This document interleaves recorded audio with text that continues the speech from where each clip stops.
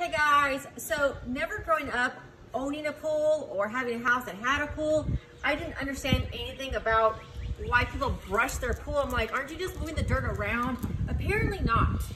Apparently the whole goal of pushing the dirt around is so that it can go into the um, filter thingies and that eats up and goes into that um, hole thing.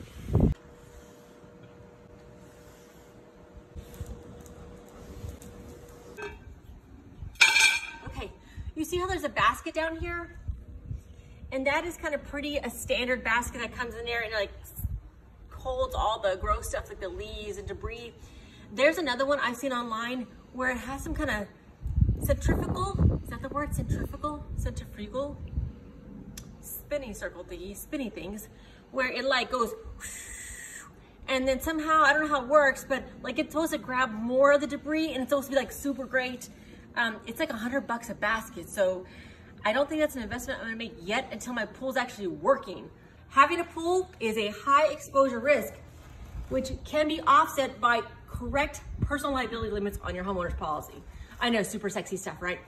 All right, guys, I will see you later. I'm Melissa Bankard, your Texas Farmers Insurance Agent. Mwah.